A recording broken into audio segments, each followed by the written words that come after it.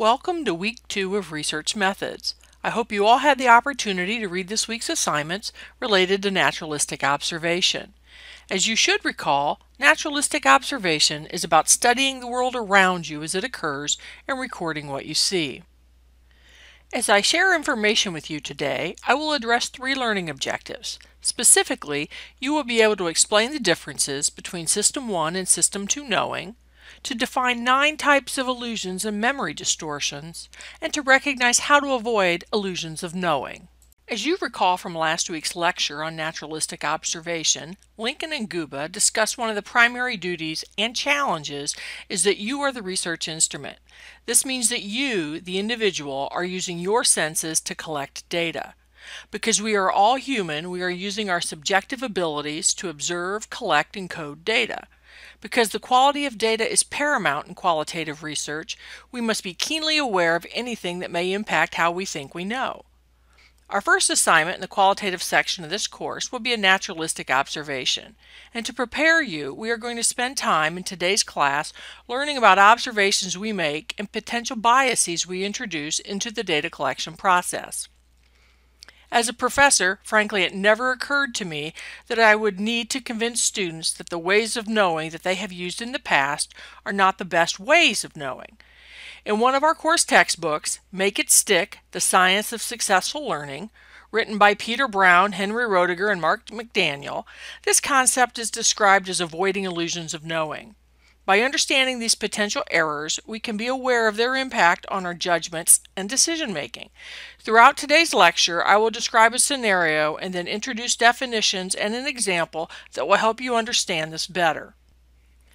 Using the information from Make It Stick as a guide, I'm going to walk you through two systems of how we think we know and nine different things that can impact our knowing.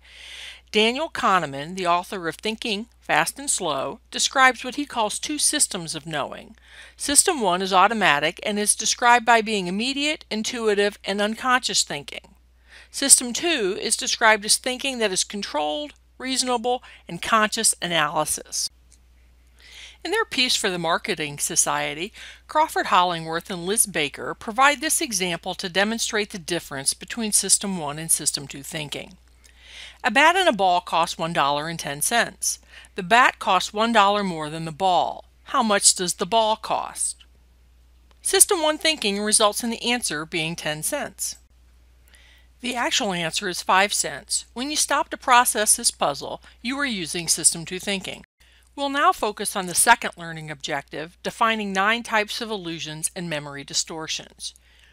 I grew up in a small town in northwestern Ohio, and I went to college near Detroit, Michigan. When I found myself having difficulty making new friends, I told myself that it was because I was from a small town with a population of 1,200, where everyone essentially looked the same, went to the same churches, and generally lived in the surrounding area after graduation from high school. Now I was in a very diverse setting with a much larger population, so certainly growing up in Edgerton, Ohio was impacting my ability to make friends. We call this a hunger for narrative. We match our own lives to these events to resolve any dissonance. A common example used to describe imagination inflation involves interviewing a child suspected of being a victim of child abuse. If the interviewer asks the child if a specific act was committed, the child may believe the event occurred, even if it didn't. Unfortunately, the risk of imagination inflation in this scenario can discredit a child who, in fact, has suffered abuse. Suggestion is the third category of memory distortion and involves how a question is asked. Can you see a vase in this picture? Well, yes, I do.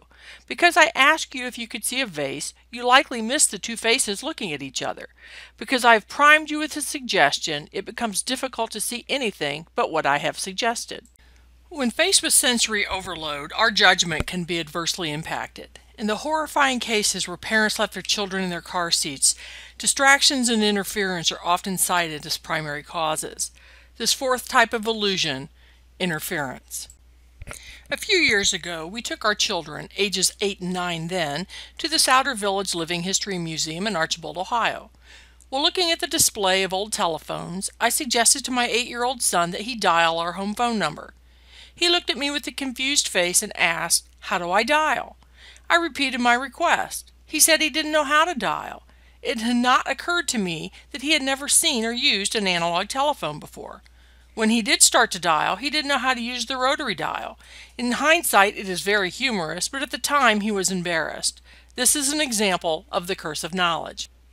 I have been told since I was a child that my paternal grandfather was half Cherokee Indian, resulting in me believing I was one eighth Native American. My father's sister is a member of the Southeastern Cherokee Council. My mother, who grew up in Appalachia within a mile of my father, also grew up believing my grandfather and father were of Cherokee descent, not something that was necessarily prized in the 1940s and 1950s. I have seen pictures of my grandfather, and he does appear to have features and skin tone associated with Native Americans. Stories abound of how my grandfather's heredity came to be. I have shared many times I am one eighth Native American. Imagine my surprise when my two sisters and I submitted samples to Ancestry DNA and not one of us had any Native American DNA markers. This feeling of knowing something is the sixth type of memory distortion. My children have always attended faith based schools and have been able to repeat religious doctrine from an early age. However, not until my children completed confirmation were they actually fluent in their faith. Just because they could recite doctrine did not make them fluent. Fluency is the seventh type of memory distortion. During this national election cycle, it is fairly easy to find examples of social influence in a variety of media sources. Terms like fake news and alternate reality have become commonplace. Social influence is the eighth type of memory distortion. Imagine the number of people who will be surprised on November 4th when their candidate for President of the United States does not win. Because we are ingrained in our own beliefs, we are often surprised that everyone doesn't share our view. This is the false consensus effect. So far, I've defined System 1 and System 2 knowing, as well as nine types of illusions and memory distortions that can impact judgment. Now I'll share two suggestions for implementation which address the third learning objective, recognizing how to avoid illusions of knowing while collecting qualitative data. By understanding what makes you think you know something, you will be able to understand the cues that lead you to believing you have learned something. Are you able to quickly retrieve information over time? As you reflect over similar situations, do you feel like you can apply what you know? Understanding cues is a purposeful process. The first suggestion is to consciously hold yourself accountable for how you acquire information. Are you using reliable sources? Challenge yourself to test the quality of evidence. As you are collecting data for your naturalistic observation, be specific in how you operationally define characteristics. As an example, do not simply write down, you see an old woman. You need to be able to define old as well as young. You also need to be able to define how you know you are seeing a woman. What characteristics led you to this conclusion? Be specific. The second suggestion involves testing yourself and your process. Hold yourself to a standard that if somebody else was using your code sheet, they would arrive at the same conclusions, in this case of gender and age, that you did. Your data collection process needs to be transparent. As you consider the nine illusions and memory distortions, you can understand the impact on System 1 knowing. Because System 1 knowing is described as being immediate, subconscious, and prone to biases and fallacies, the nine illusions and memory distortions can definitely impact judgment and decision making. Purposeful use of testing and cues to understand how you process and understand information leads to System 2 knowing, which is controlled and analytical.